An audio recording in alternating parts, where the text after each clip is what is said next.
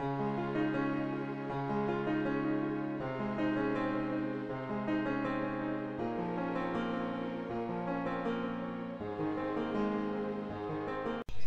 my name is Bella. I'm a Cocker Spaniel and I'm a registered assistance dog and a trick dog champion. Mummy trained me to be an assistance dog with Dog Aid, a registered charity accredited to Assistance Dogs UK. Mummy made this video so I can show you all what a day in my life is like. I hope you enjoy my video. Please come and see me on my website or Facebook page for more fun stuff. Bye for now, peeps.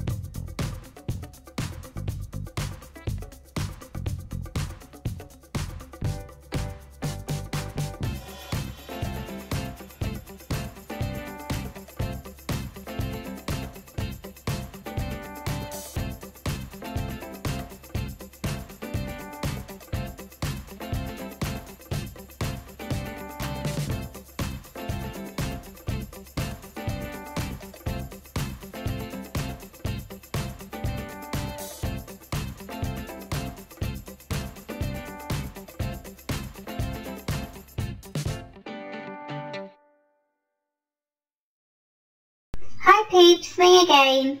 Did you enjoy my video? I will add a link to my website and Facebook page. Please pop by and see me. Without Dog Aid, I wouldn't be an assistance dog. They are a fantastic charity run mainly by volunteers. So if you're thinking of supporting a charity, please consider Dog Aid.